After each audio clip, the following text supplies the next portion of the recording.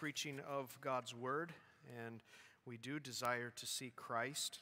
Um, there's a preacher down in Atlanta, Georgia, who says that we need to unhinge from the Old Testament.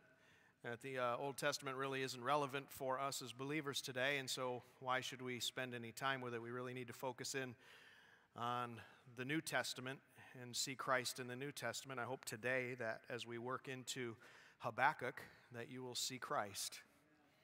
And that is my earnest prayer. I'm starting a new series today in Habakkuk called Just When You Thought You Had God Figured Out.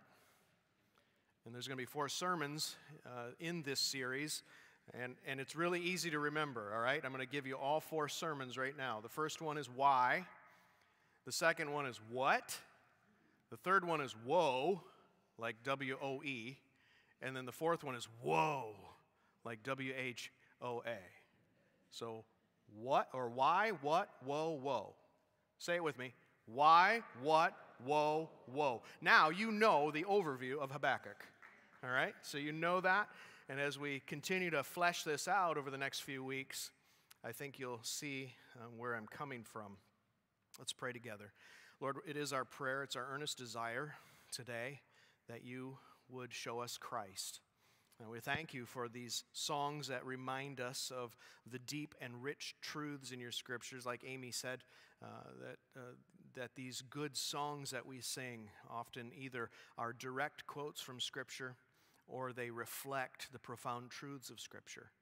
And it is a wonderful thing when the body of Christ comes together and opens our voices in praise to a God who so richly deserves our praise. So we thank you for that privilege that you've given us. And now, Lord, as we open up your text of Scripture, I just pray, Father, that you would fill me with your Spirit, that I would utter things that are pleasing to you, that your Spirit would be moving in hearts right now. Uh, this is not an entertainment event. This is not a time that we come together to have our ears tickled, but this is a time that we hear the very Word of God. And so, God, help me to be faithful in communicating your truth. And Lord, I pray that your Spirit would definitely fill in the gaps where I drop the ball and that we would all leave here changed, uh, more like Jesus Christ as a result of our time in your text. And it's in Jesus' precious name we pray. Amen. Why doesn't God hear my cry? You know, I think that over the course of your life and over the course of my life, we can think of times in our lives where we have earnestly cried out to God passionately cried out to God, where we are desperate before our God for this thing or that thing. I'm sure that each one of us could give testimony of those times in our lives where we've cried out to God. You know, I remember crying out to God for, you know, oh, I hope Angie likes me. That was really important back then to me. Well, I, I, I hope she's as head over heels in love with me as I am with her. It seems seems maybe trite now in comparison. No, no disrespect to our relationship. But it seems maybe trite as we continued to march through our lives together. And then when our first child was born, and she was born with a blood uh, infection and a brain hemorrhage, and the doctors told us that she very likely was going to die. And I remember crying out to God, How can you do this? I just trusted Christ. I just, uh, two months prior to that, trusted Christ as my Savior. And, and I, I remember this panic as I looked over uh, this little, precious little girl with tubes coming out of every inch of her body. And, and she's grunting as she's breathing. And the reality is, is that she's, she very well could lose her life. That's what we were told. And I cried out to God can you do this? this and just a month prior, some of our very dear friends lost their baby. So it was just crushing in on me. Wow, how can this happen? I remember when my sister was getting divorced from my brother in law after 12 years of marriage. I remember crying out to God, How, what? I ran to my dad and I'm like, Dad, do something. Can't you do something? I'm sure every one of us in this room have had those times over the course of your lives where you have cried out to God and there's no seeming immediate answer. It's frustrating. You're asking him for something that you know is his will, and, and, you, and yet he's not responding in the way that you think he should be responding. And it's frustrating and it's irritating and it's, and it's devastating. That's what we're dealing with here with Habakkuk. Why all the suffering? Why? Why all the pain? Why doesn't God simply step in and put an end to it all? Why, why does He let this, this, this big blue ball keeps spinning. When we look at those pictures from outer space, they're gorgeous, aren't they? You get to look at the pictures back at this big blue ball that, that, that uh, is floating in space, and it's just miraculous to think about. But the closer we zoom in on that big blue ball, we see more clearly the imperfections. And quite honestly, and quite frankly, the downright nastiness especially in regard to humankind. There's all kinds of suffering that goes on throughout our world hunger and severe poverty. We seem helpless in order to try to fix that. We see commercials on television that pull at our heartstrings with little ones who are across the globe and they're drinking out of mud pits. When we're able to go to the tap and drink clean, fresh water at any given moment of any given day without even thinking about it. Crime, wars, murder. I mentioned to you a few months ago that man who killed his wife and two precious little girls and buried them in a silo. What? Why? Why do these things happen? political and governmental corruption. We're offered all kinds of promises. We just endured a political season and we're offered all kinds of promises, and I'm afraid that we will end up with status quo. I hope not. I know Brother Elliot's going to do his best to bring change in. But it's easy to get discouraged and downcast when we see political and governmental corruption. By the way, folks, this stuff's been going on for a very long time. Today we journey back to the 7th century BC, and we're reminded that there is nothing new under the sun. There's nothing new under the sun. The suffering that we face today, the, the trials that we face today, the questions that we face today, were being asked way back then.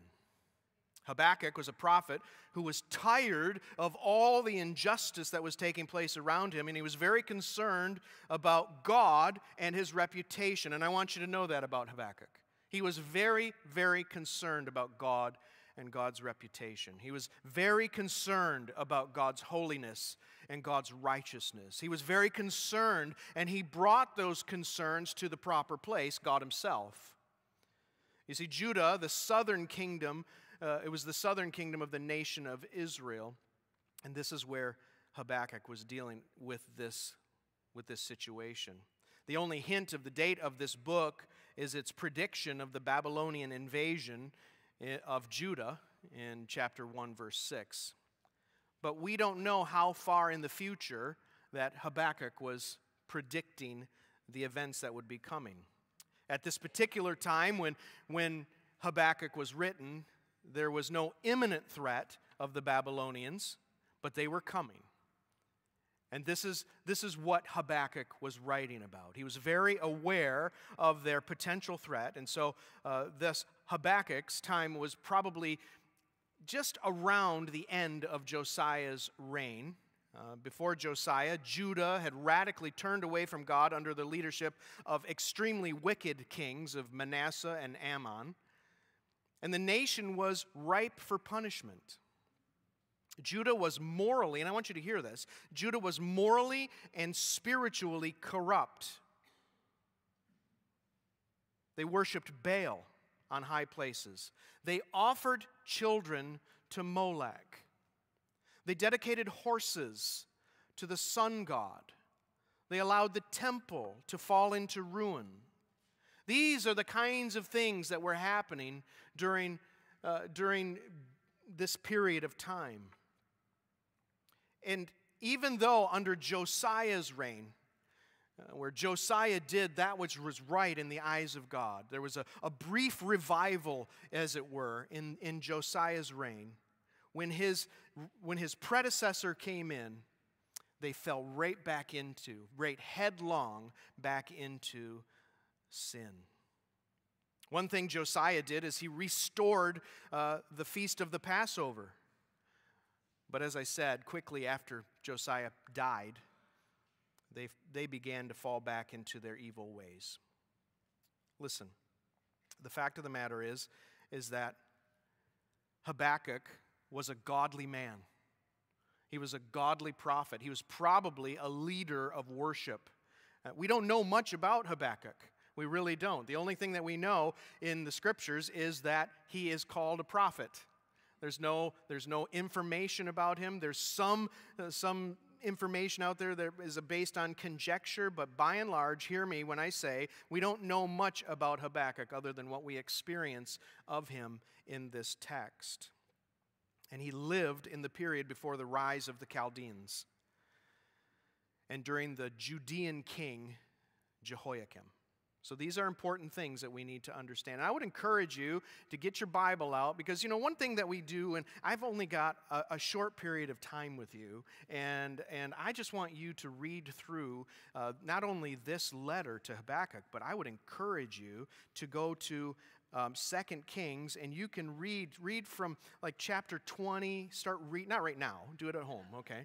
But you can start reading through, and you can read about the uh, the reign of Hezekiah. You can re- read about the reign of Manasseh, his evil son. You can you can read about all of those things, and then how Josiah came to the throne, and and uh, how he had they had this respite and this uh, revitalization for a period of time. I would encourage you to read that because it's going to help you understand this letter even more. But the bottom line that I want you to understand here this morning is this that Habakkuk had enough. This prophet, this prophet of God, had had enough. He was truly a righteous man who felt hopeless and helpless. He turned to God and he begged God to stop, to stop this nonsense that's going on. Yes, there was a season of revival. Yes, there was a season of restoration, but that season was going away. And one would think that God, of anyone, would want to deal with injustice quickly. Wouldn't you think that? You would think that God wants to deal with injustice quickly and severely. Yet, oftentimes, many times, that is not the case. And that's the main thing that I want you to grapple with with me this morning. Because oftentimes we are tempted, we are tempted to think that God is in fact unjust. Because he's not dealing with justice the way he, we think he ought to deal with justice. When that man killed his wife and two children, I'm praying imprecatory prayers against him that God would strike him right now and be done with it. And it didn't happen. So is God for what this man did? See, we can go to that conclusion rather quickly if we're not careful. So when we're tempted to think God is unjust, simply look to the cross. And I hope that you'll understand what this means a little more clearly by the time we're done today. But when you're tempted to think God is unjust, like Habakkuk was, he thought that. Simply look to the cross. The first point I want to share with you this morning is how easy it is to complain about what we see. How easy it is to complain about what we see. As we look around at the world around us, to a nation that we once considered uh, Christian nation, and now it's almost unrecognizable from when I was a kid, at least. And it's really easy to complain. In fact, I've been around some of you that complain about this stuff. I'm guilty of it too. We complain, right? We complain about politics. Well, man, I'll tell you what, if I were in charge, then I would, man, I should be in, well, I would take care. And we complain and we complain and we complain. We have television, uh, we have television stations that give their entire existence to complaining about the other party. on either side of the aisle. They make a lot of money about complaining. That's what we do. We complain. We complain and we complain. And don't get me wrong, there are some things that are worth complaining about. But the fact of the matter is, is we complain. We complain about abortions. 50 million babies have been murdered. Murdered. It's awful. It's worthy of complaining about, right? Millennials complain about boomers, and boomers complain about millennials. We don't get each other. Complaining and complaining and complaining. And I, for one, can find it really easy to complain when things are not going my way in particular. And to be honest, as I listen, I hear a lot of Christians and I see a lot of Christians on social media complaining and complaining and complaining. But not that, not that it's necessarily right to complain. We are in good company. Habakkuk has a complaint, uh, not only not, not just against anyone, but God Himself. Habakkuk has a complaint against God Himself. Look at Habakkuk chapter 1, verses 1 through 4. The oracle that Habakkuk the prophet saw. O Lord, how long shall I cry for help and you will not hear? Or cry to you violence and you will not save? Why do you make me see iniquity? And why do you idly look at wrong? Destruction and violence are before me. Strife and contention arise. So the law is paralyzed, and justice goes forth. Justice never goes forth. For the wicked surround the righteous, and so justice goes forth perverted. Well, this begs a couple questions for us this morning. The first one is why doesn't God hear my cry? Why doesn't God hear my cry? Prophets in the Old Testament had a pretty clear role, folks. If you were, a prophet, if you were a prophet in the Old Testament, you had a clear job description. They were to speak to God's people on God's behalf, to encourage them to follow God, and to warn them if they did not follow God. That was their job. If they didn't follow God, they would proclaim there would be consequences. And you read, as you read through the prophetic writings, you will hear this phrase often Thus saith the Lord. Over and over again, you see that. Thus saith the Lord. They are speaking on behalf of God. This was the job of a prophet. And in most cases, it was not a popular job because it usually uh, found, there, they were usually inserted in when the children of, of Israel were headlong into something they shouldn't be involved in. And the prophet had to call them out on it. And this wasn't always well received. You can see this over and over again. We got to watch little Elliot last night, and uh, he's my little grandson, and he's as sweet as can be most of the time. he's also capricious, and he gets into things. And we have to say, Elliot, thus saith the Papa. And he looks at you, and he, he has this, so he was in the bathroom and I'm looking from my chair, and he was starting to open up a drawer, and I said, Elliot, because I knew he was going to get into my stuff. And he starts pulling his hand away a little bit, but he keeps staring at me.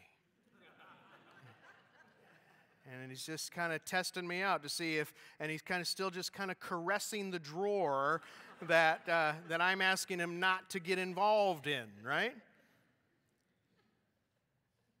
Elliot, you don't want to go there.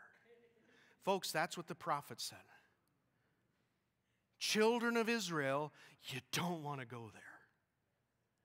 The Lord has promised if you go there, there's going to be consequences and severe consequences. This prophetic writing is altogether different this writing here in Habakkuk is altogether different. In this writing, the prophet, at least in the first part, isn't calling God's people to task for wrongdoings, but the prophet is actually, is actually calling God out for not doing what he is supposed to be doing. Imagine that. This prophet is calling God on the carpet. In verse 1, the author says, And he starts out by saying, The oracle that Habakkuk the prophet saw. Well, what does oracle mean? What does that word oracle mean? Well, the, in the Hebrew, the word oracle means burden. It means burden. To lift up, the verb to lift up a burden. Habakkuk was burdened. He has a burden that he needs to unload. And this author that we know very little about tells us that he has a burden. What is this burden? In verse 2, it tells us, O Lord, how long shall I cry for help, and you will not hear? That's quite an indictment, folks. Lord, how long shall I cry out for help, and you will not hear? Now, I think it's very interesting that the word Lord here is Yahweh that's that covenant name of God. And he is reminding God that God, you are a covenant keeping God. You want to tuck that away for a minute. He says, Oh, Yahweh, how long shall I cry for help and you will not hear? God's man is calling God out himself. He says, I've, I've been crying out and crying out, and there's no response. How long must I cry out? How long must I beg? And he doesn't stop there. In the end of verse 2, the prophet says, Or cry to you violence, and you want, will not save. Violence. Well, what is, what is, why is he saying violence? Well, certainly the world around Judah had degenerated to say the least. But this was not Habakkuk's lament. His burden was this, not just the world around him. That wasn't, that wasn't his main concern. But that his people had followed suit. His people had, had degenerated right along with the world around them. They had taken on the characteristics of the degenerated world. And the reality was there was little remorse about the degeneration. Yes, there was that brief season where young King Josiah became convicted as he read God's word and he made those sweeping national changes of repentance. But once he died, and with the new wicked king in place, Judah's true heart became apparent once again, and they adopted the violent, wicked ways of the world. That word violent, Hamas, in the Hebrew, sounds remarkably similar to a word you might be familiar with in today's world Hamas. Violence. Is it violent from God's perspective to disobey God? Yes. It does violence against God. Is it violent from God's perspective to worship other gods? Yes. Is it violent from God's perspective to allow the temple to fall into ruin? Yes. Is it violent from God's perspective to offer up baby infants to Moloch? As far as I remember in my study of this brutal practice, there was an a statue of Moloch that had his arms held out, and there was a roaring fire going on inside of this statue of Moloch. And parents would, or priests, or whomever, would offer their child into the arms of Moloch, and the babies would roll into the inferno. I mean, I, I get sick just thinking about it. And God's children were engaged in this practice. Is that violence against God? Yes. It's unbelievable violence against God. It's unconscionable violence against the character and the grandeur of their one and only true God. Was he upset about the sin and the degradation and all that was going on around the world? Yes. But he was devastated. Habakkuk was devastated that they were engaged, the people of God were engaged in this kind of behavior. And here's, here's Habakkuk this true and righteous prophet of God. He is scratching his head and he's saying, God, why don't you do something? Why don't you punish your people? What are you waiting for? This is why Habakkuk called God Yahweh, to remind him of the, that he is the covenant God. He made a covenant with his people in Deuteronomy.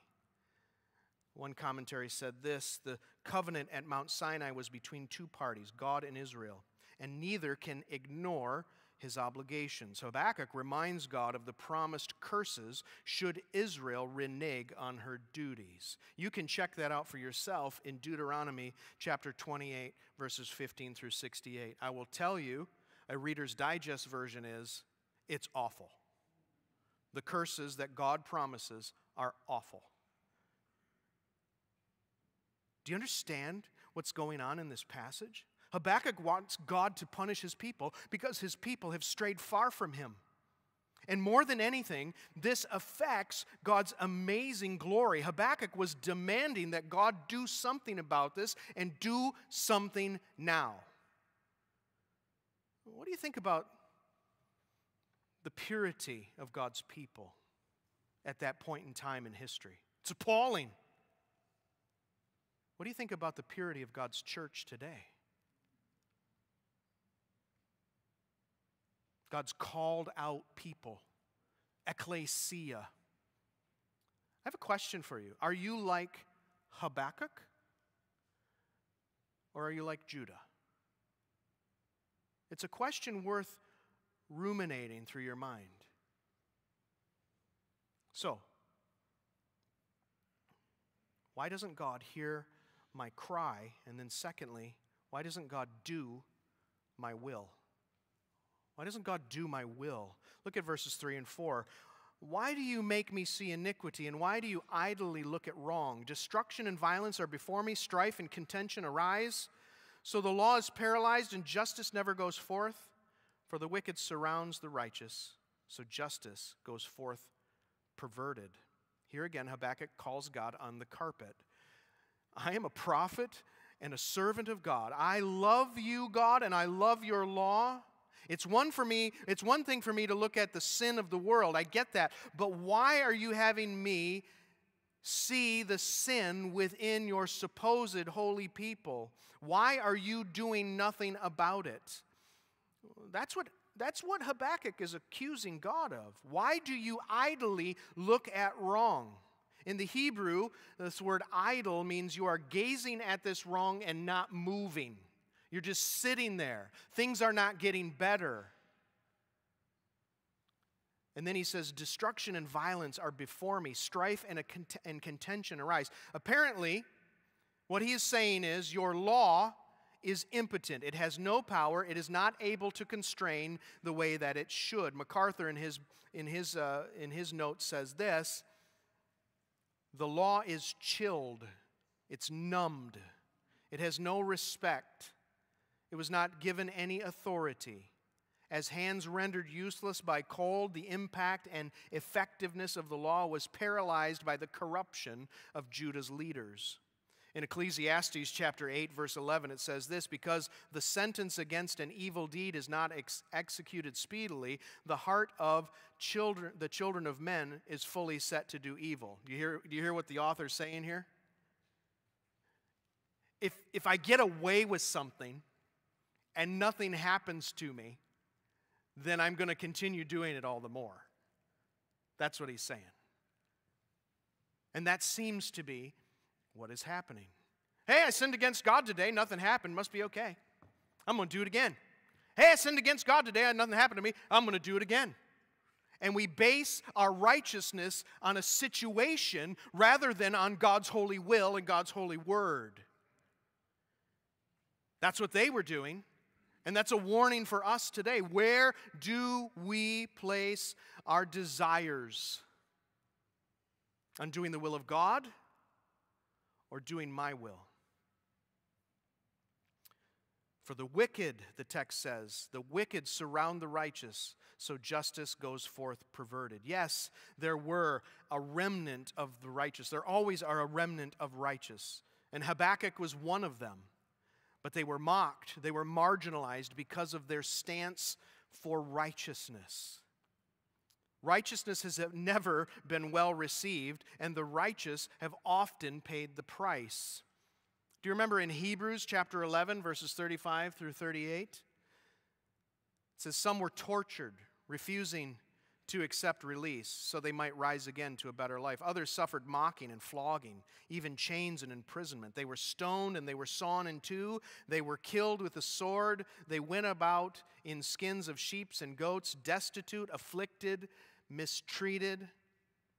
This is the job description of the righteous, folks. Those people that are standing for righteousness, uh, the writer of Hebrews says this, this is what they got in this life for standing for righteousness. But yet, what does he say in verse 38? Of whom the world was not worthy. Isn't that beautiful? Those people who are willing to stand for God, to stand for righteousness, to stand for truth, the world was not worthy of them. Wandering about in deserts and mountains, and in dens and caves of the earth. Those people truly understood, those people truly comprehended that this is not their home. They are just passing through, that their prize is laid up somewhere beyond the blue. They had the right perspective, they had an eternal perspective. They stood for righteousness here, knowing that one day they would experience eternal righteousness there. But then there was one who was ultimately righteous, who did pay the ultimate price. 1 John chapter 2 verses 1 and 2 says this, "My dear children," John writes, I'm writing this to you so that you will not sin, but if anyone does sin, we have an advocate who pleads our case before the Father. He is Jesus Christ, the one who is truly righteous, the only righteous one. He himself is the sacrifice that atones for our sins, and not only our sins, but the sins of, the, of all the world. So we have this beautiful promise from Jesus Christ that He is our advocate, He is the only righteous one. So we ask the question why doesn't God do my will? Well, because maybe my will isn't right. Maybe my will is off. But is God's will off? No. So, how easy is it for us to complain about what we see? Very easy, because we see it. We see injustice just like Habakkuk saw injustice. And it's very easy for us to complain about these types of things. And in some cases, it's right for us to complain. Not just to complain, it should drive us to do something, if nothing less than pray. So, what are you complaining about these days? Politics, sports, weather? I don't know. Habakkuk was definitely complaining, and, this, and his complaint was not trivial. It was substantial. God's holy name was being run through the mud by the outlandish, the, uh, the wicked living of God's people. Habakkuk was praying his head off that God would give a severe rebuke to them so that they would repent and that they would turn their hearts back to God. The prophet was frustrated. He was so frustrated that God seemed to be sitting on his hands and doing nothing. And from his perspective, from what he could see, that's worth complaining about. I have some questions for you this morning. Are you pleased with the state of the holiness of God's people today? I don't ask you that to cause you to look down your nose at God's people. I, I, I ask you that for an honest evaluation. Are you pleased with the state of the holiness of God's people today? Number two, are you pleased with the state of your own personal holiness? I think that's probably even a more appropriate question than a broader one as we look at the church around us, because the church is comprised of individuals. It's comprised of you if you are in Christ. And this is a question that you ought to ask of yourself Are you pleased with the state of your personal holiness? Are you, number three, passionately praying that God would do something? Do something to His church, to His people, to bring revival to God's people? Do you care? Or has apathy washed over your soul and caused a hardness that won't seem to dissipate? I think these are questions that come to mind when we see the passion of Habakkuk, when we see the concern of Habakkuk, when we see as he's looking at the children of Israel, their blatant disregard for the holiness of God, living whatever way they want to live. I'm admiring his passion, and we ought to have the same type of passion. So, are you passionately praying that God would do something in His church? Are you passionately praying that God would do something in your soul? I pray that apathy hasn't had its way with you. By the way, you can tell if apathy is having its way with you by the sin that you allow in your life. It's a gut check for us. It's a time for each one of us in this room today to do a thorough job of repenting. The church of Jesus Christ needs to be a holy bride of Christ. And it needs to start with Allendale Baptist Church. We need to do a thorough job of repenting. We need to be very careful to do that. And if apathy is crushing into your life, you can tell that it is by the sins that you allow into your life. And then, secondly, those little sins, those little sins, the Bible talks about those little foxes, will add up and drive a wedge between you and God. Ladies and gentlemen, I'm not up here casting judgment upon you at all. I am a sinner saved by grace. And I have to do a thorough job of repenting day in and day out. I have to take an inventory of my spiritual walk with God day in and day out. And I will tell you that if I am not engaging my mind in His holy word, if I am not spending time on my knees praying for myself and for you and for my family and all the things that I pray about, if I'm not doing those things, I tell you what happens to me. There's a spiritual apathy that begins to wash over my soul, and then I begin to allow those little foxes, those little things to start infiltrating my life and causing a coldness and a hardness and an apathy to wash over me. It's not rocket science, guys, but it is serious business. And we see this in this letter from Habakkuk. The Bible tells us that we are to be content in all things. However, there is one area that we are to be passionately discontent with our level of holiness. You and I are to be passionately discontent with where we are in our relationship with Christ. We need to continue to press on toward the mark, not looking behind us, but pressing on forward. If you want to complain about something, complain about that to God. God, I don't want to be here anymore. I want to grow in my holiness. Lord, I'm tired of where I'm at spiritually. I want to grow in my godliness. Lord, I need you by your Spirit to transform me to become more like Jesus, that I'd be more like Jesus today than I was last year, and that next year I'll be way more like Jesus than I am today. That we can be discontent about. That we can pray about. And ladies and gentlemen, we need to be praying about that. We need to be making those decisions that God would change us in such a dramatic way. Second point that I want to share with you is this How hard is it to trust what we don't see? How hard is it, how hard is it to trust what we don't see? We see injustice, we see pain, we see depravity, and we don't know what to do. We pray and we hope that something will happen, and we, like Habakkuk, pray that God will step in and, and make his people holy once again. But sometimes our prayers, as we've said, don't seem to go any higher than the ceiling. In fact, sometimes they feel like they bounce off the ceiling right back onto our heads. The heavens are like steel, and our hope quickly fades away. We, like Habakkuk, start to doubt God.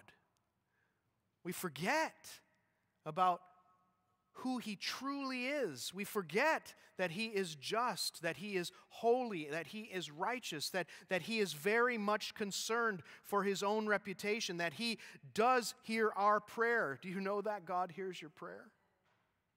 We forget that He is the author of history and that He is working all things according to the counsel of His will. We forget that He has a redemptive plan that He will see to completion regardless, regardless of how well we participate.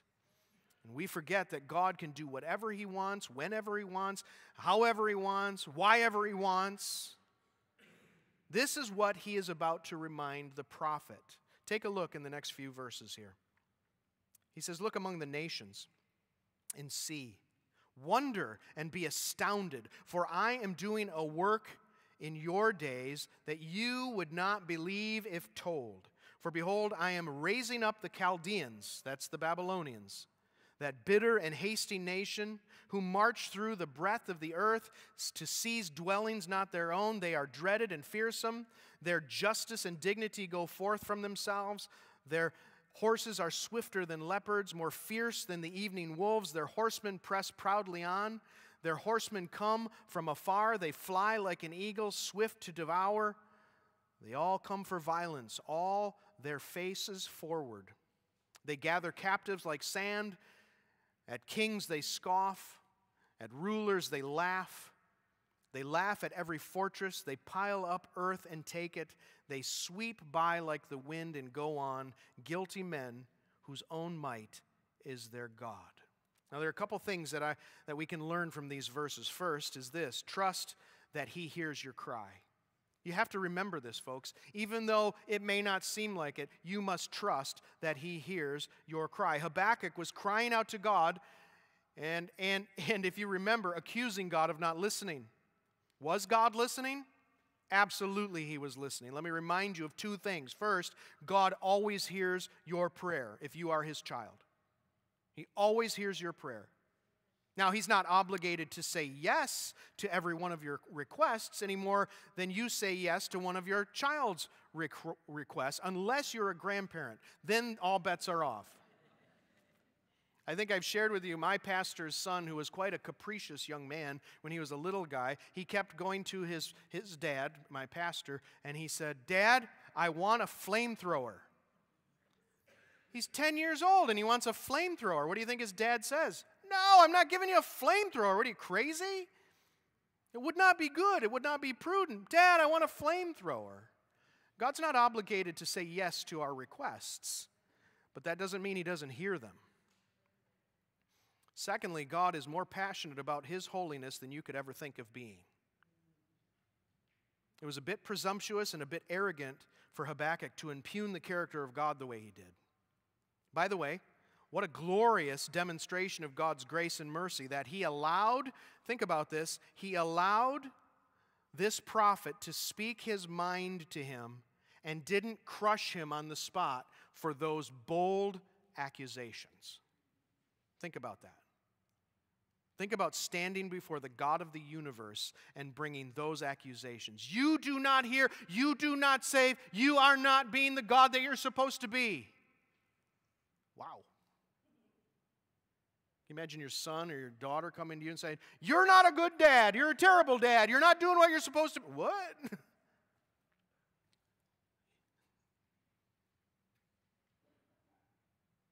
We want to be careful about that. We want to understand that. It was a glorious demonstration of God's mercy and grace for not crushing Habakkuk on the spot. But back to the point God can take care of himself, God can take care of his holiness. We don't need to protect God any more than a lion needs our help. Spurgeon said that. We unleash the lion and let him do his work. Habakkuk's passion for God's holiness was laudable, but I believe he crossed the line when he called God's character into question. God, God wasn't waiting around for Habakkuk to wake him up to the devastatingly sinful lifestyle of his children. The point, in fact, was that he had a plan all along, and he was orchestrating the perfect time to unfold this glorious plan. And the time was now coming very soon. And God is giving Habakkuk a sneak peek. We could call it a prophetic perk. He got to see what was coming down the, down the line. I picture God putting his arm around Habakkuk like a boss with a trusted employee and then says, You are not going to believe what I'm about to do. You are, it's going to blow your mind. You're not going to believe it. And, and, and we'll see this next week in next week's sermon.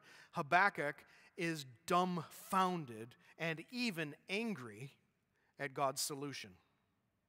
The point is this even though God had acted uh, and, and sin and violence, uh, or God hadn't acted at this point, and sin and violence were rampant in the lives and the hearts of his people, that didn't mean he was ignoring.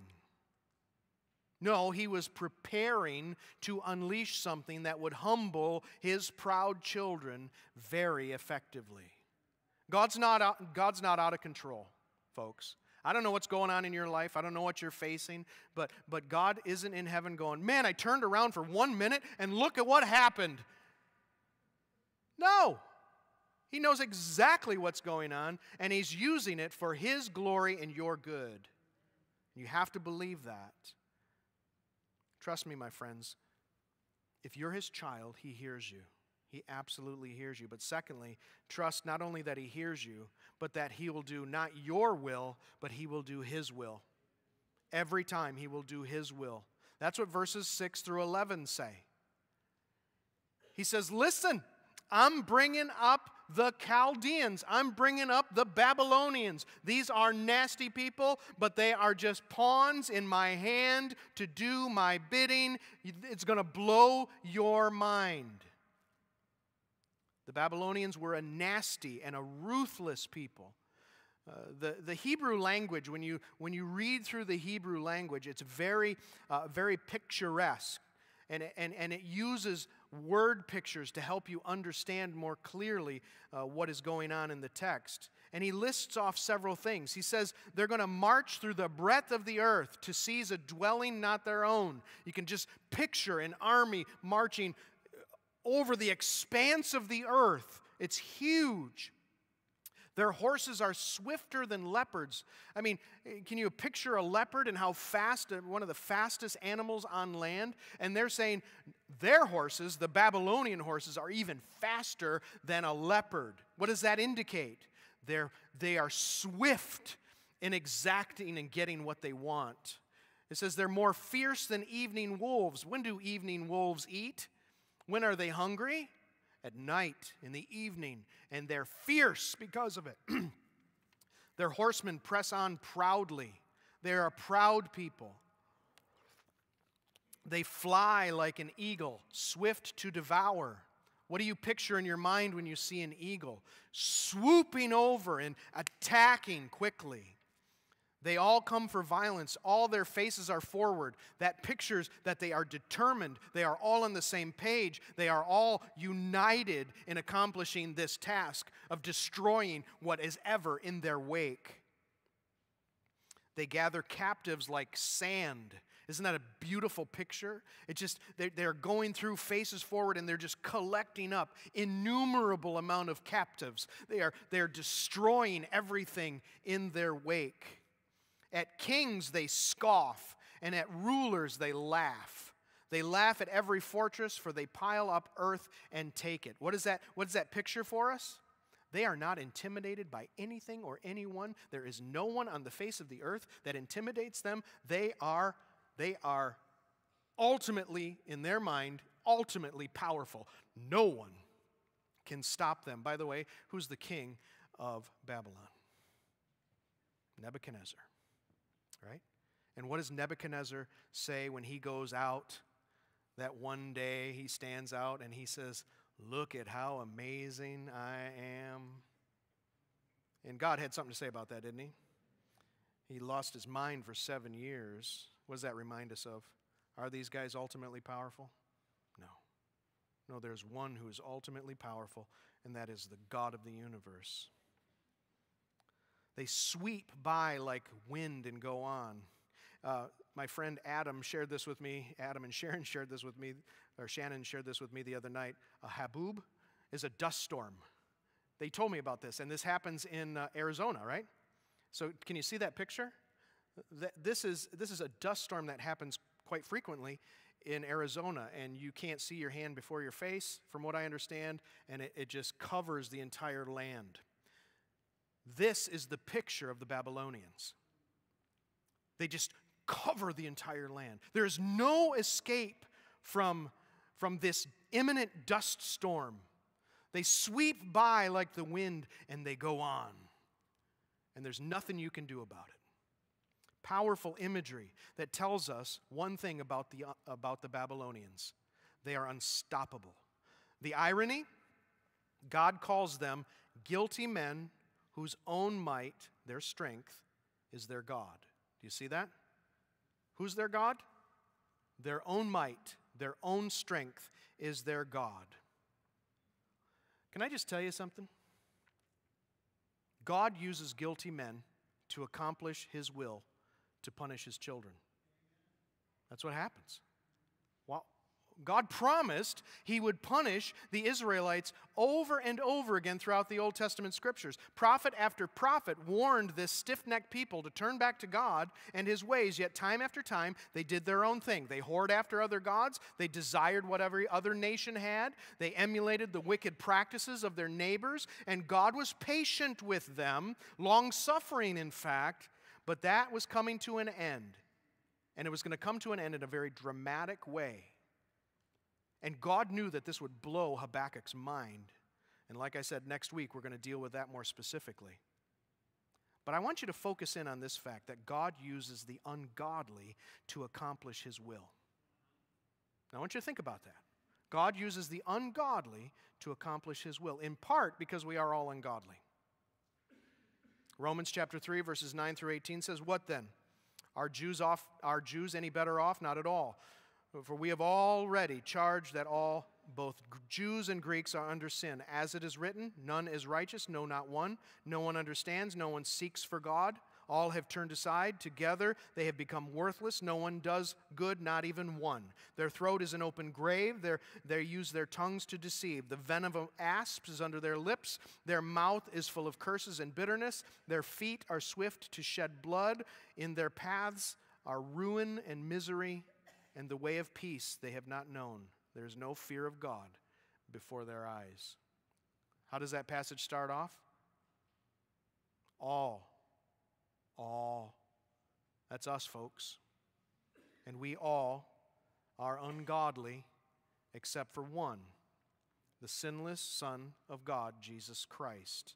Colossians chapter 1, verses 15 through 20 says this He is the image of the invisible God, the firstborn of all creation. For by him all things were created, in heaven and on earth, visible and invisible, whether thrones or dominions or rulers or authorities.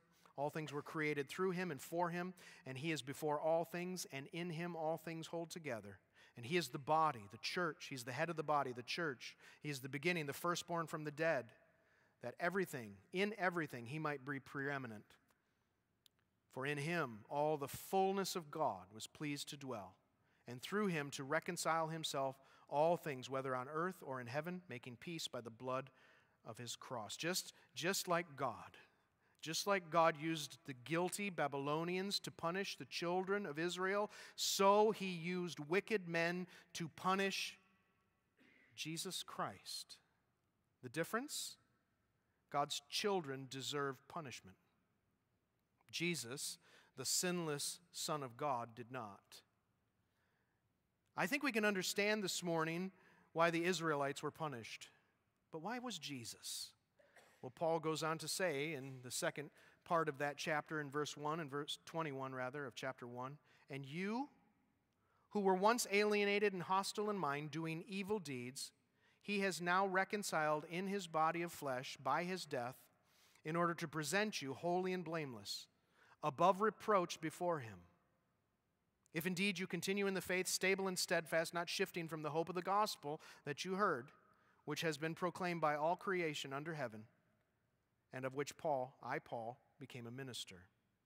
Listen, God used sinful men to punish the sinful one, Jesus, for our own redemption, for your redemption. Isaiah says that he was pleased It pleased the Father to crush the Son because by killing the Son, life became possible for us who are spiritually dead. Sometimes, many times, it's exceedingly difficult to understand what God is up to and what He's doing behind the scenes. Why, why does it take so long sometimes for God to answer our prayer? Why does God allow evil to survive and thrive in our world today? Why? Why? Why do these things continue to happen? Well, as we've learned, it's okay to ask why. It's okay to ask why. Job asked why. Habakkuk asked why. We should. We need to be careful to remember the character of the one in whom we question. But it's okay to ask why. Ravi Zacharias has a marvelous story. Uh, he wrote a book called The Grand Weaver, talking about, um, talking about the questions of life and why life is so difficult. And uh, he likened it to, uh, he being Indian, likened it to um, the tapestries that are woven over in India. And if you see a tapestry woven in India, you'll, you'll see gnarled up knots, you'll see various colors, you'll see all kinds of a mess as they're weaving this tapestry together. Now, when you look at the other side of the tapestry, you see a beautiful design, and it makes perfect sense of what they've been doing. On the back, makes no sense whatsoever. On the front, a beautiful design. When we're tempted to think God is unjust, simply look to the cross. Listen, the cross is where justice and mercy meet. The cross is the center of God's gorgeous, beautiful tapestry. There are going to be times in our lives where it makes no sense what God is doing, but we can trust Him that He is the grand weaver and He is weaving everything together for His glory. That's His main purpose, but also for your good. That's His heart's desire. And so at the cross, justice and mercy meet in the person of Jesus Christ. I'm not sure what you're facing today. What are you, what are you crying out to God for? But the glorious answer, folks, the glorious answer is resolved in the cross. When, when we lost a little baby, when Angie was pregnant and lost a little baby, we can have hope because of the cross that one day we'll see that child again. You know, when Angie and I are having struggles in our marriage, and she's calling me bad names, she doesn't do that. I'm just But when we're struggling in our marriage, the resolution is in the cross.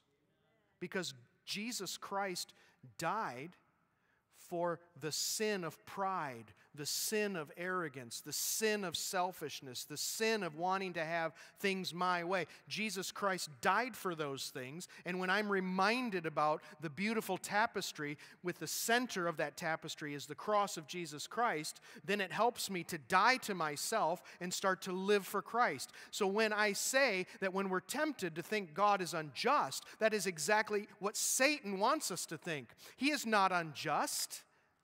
His justice was demonstrated on the cross. And when Jesus rose from the dead, we have the hope of eternal life because of that. Ladies and gentlemen, look to the cross. That's where justice truly is. Father God, thank you for your grace. Thank you for this, this very relevant story in the Old Testament. We thank you for Habakkuk. We thank you for his passion, for your glory, for your holiness, for your righteousness. We, we thank you that he exuded passion for you. And God, may we exude that same passion. Father, may we be concerned about the holiness of your people today. May we, as a church, individually be concerned about our own holiness. What are we engaged in? Are we engaged in things that are tawdry and cheap and sinful and wicked?